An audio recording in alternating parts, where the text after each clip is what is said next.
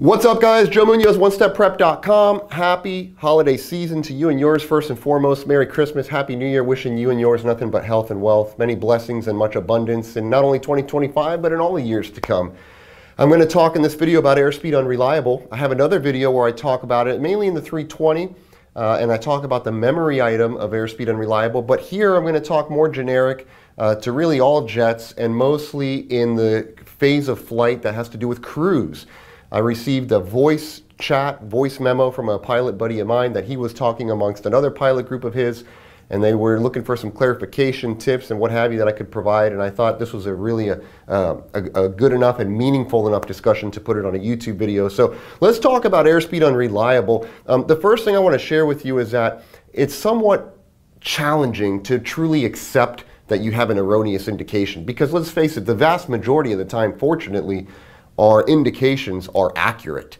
And so when you're looking at an indication, could be anything, and today's video happens to be airspeed, uh, is it truly, is what you're looking at true? In other words, do you really have an erroneous airspeed or not? And let's say that you do, okay? You, you, you figure out, you've done your cross comparison, you've looked at the captains versus the first officers, indicated airspeed, you've looked at the standby indicated airspeed, you cross-reference it maybe with the GPS speed and the ground speed and against the three indicators, and you realize, yeah, we have, we actually do indeed have an unreliable speed. Okay, so once you've identified that, the first thing, if you're not already doing so, I would advise is level off. Um, leveling off is a great thing to do because as you're climbing or descending, that could have an effect on the airspeed indications that you're seeing that are ultimately not reliable, but because you're so used to them being reliable, you may pitch erroneously and apply the wrong input as you're having a difficult time accepting the fact that you're looking at an indication that's not true. The next thing I would share with you is once you level off, and by the way, leveling off uh, is easier to do if you have a flight path vector.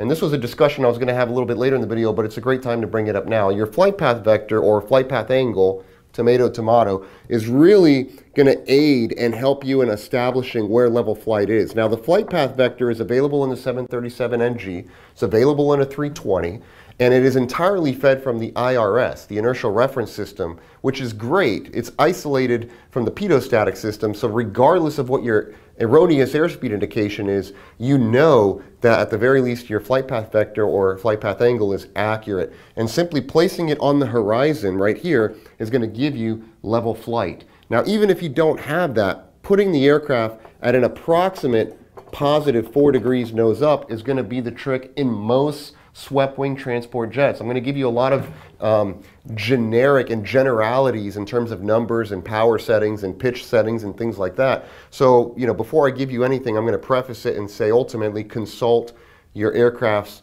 flight crew training manual or performance section to have a better understanding of pitch and power settings.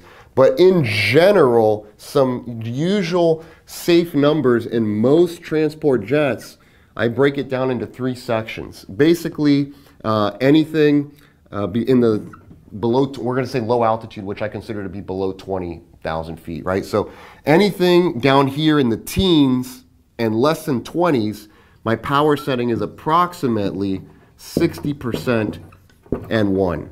And this is below 20s. Okay, so we're down in the teens, maybe even 10,000, 5,000.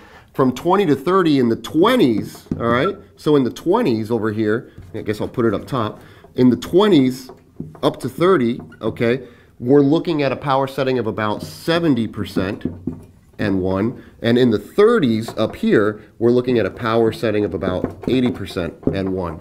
So 30s, 20s, and anything below 20, which would be considered in my definition low altitude, is about 60%. So let's go back to the tip I sent back to my friend. I say, hey, you know what? Consult your performance section is the, the, the, answer. But to give you some tips, since you asked for it, the flight path vector is IRS fed, so it's accurate. Put it on the horizon, remain in level flight, assess your altitude, and then go 60, 70, 80. 60 below 20, 70 in the 20s, and 80 in the 30s. Now here's a great picture just to validate this. Uh, cruising on around mid 30s, I think around 38,000 feet. You can see the thrust setting here. Again, somewhere in the neighborhood of 80%. are these numbers going to be 100% accurate? These are ballpark figures. And it very much, as I said, depends on various factors, not only the jet you're flying, but the weight, right? Density, altitude, there's a few variables here to consider. But in general, it's fairly safe to say the best thing you could do is level off, assuming you're at a safe altitude, get that flight path vector or flight path angle on, and get ready to set up a pitch and power setting that you know is going to be safe. Positive 4 degrees, with 60, 70, or 80 as applicable or as appropriate is going to be a, a good go-to starting point before you actually fine-tune everything. Now remember, this is trivial knowledge. This is something to kind of help you out as a tip. Ultimately, we have to apply the memory item. We have to apply the ECAM action. We have to apply the QRH, right? There's a pro protocol and procedure that has to be applied. But in general, I do like to provide what insights I can and things that I know will kind of help you in a moment of uh, trying to come to terms and acceptance that you actually have indications that are not accurate. Now, interestingly enough, I'll share with you, this is a true story. I took off from Myrtle Beach uh, maybe three, four months ago. Uh, on the rotation, we had a bird strike. My pitot tube was blocked. Um, and we ultimately ended up with uh, an air, not just an airspeed unreliable, it was a, a lack of airspeed entirely. We did have one indication still with airspeed. Now, uh, interestingly enough, there was no ECAM that popped up, um, at least not immediately. Later on, we got an ECAM that popped up, but I knew right away what happened. I mean, just based on the fact that when we rotated and in the in the landing lights, I could kind of see what appeared to be a bird, and then uh, you know the impact of it. I pretty much knew that it was a bird strike that clogged the pitot tube, and so ultimately, as we were climbing out. Uh, I started thinking to myself, you know, are we gonna, is an ECAM gonna pop up at any moment? Nothing's popping up. Uh, I'm comparing the uh, captain's airspeed indication with the standby indication. I was not flying at this time, by the way. Uh, it was a, I was a pilot monitoring. And so ultimately, as I'm doing this cross comparison, I can see, okay, we have, it's not that we have an unreliable speed, we have just a lack of airspeed, and we have two gauges that are indicating correctly.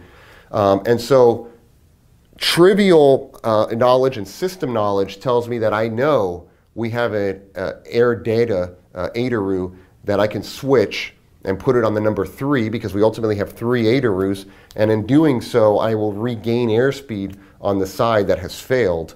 Um, and so this is one of these things where I knew system-wise that that would happen, uh, system knowledge-wise. And later on, uh, what ended up happening was we did get the ECAM, which really just said ADIRU fault. Uh, it directed us to turn off the inoperative one and then place the switching panel on number three for the failed side. Uh, the FCOM later on directed to do that as well, but it's one of these things where having the system knowledge and trivial knowledge, you can kind of know what's coming and already uh, take steps that are going to help you in restoring and regaining um, some good situational awareness and instruments that are ultimately uh, not working for you. So having a foundation of knowledge is really what breeds not competence alone, but confidence. And that's what we strive for here at One Step Prep. So I very much hope to see you here in Miami in the coming new year of 2025 doing a type rating with us or preparing with us or doing something with us. All right. So look forward to it. You guys know the site, onestepprep.com. Want to enjoy your friends and training program success. Hope you found value in the video. All the best to you and your family. We'll see you here next year in 25.